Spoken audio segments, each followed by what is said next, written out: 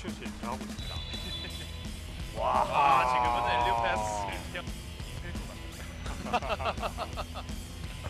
또 의욕이 앞서는 뭐 재수생 같은 경우에는 급하게 보- 되면 오히려 경기를 더 감동을 내줄 수 있기 때문에 차근차근 쫓아갈 필요가 있습니다.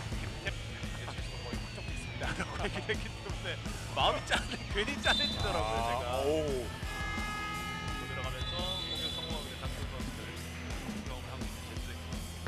시간이 지금 6초 남았습니다. 하면서 득점 정확합니다. 아까 정민재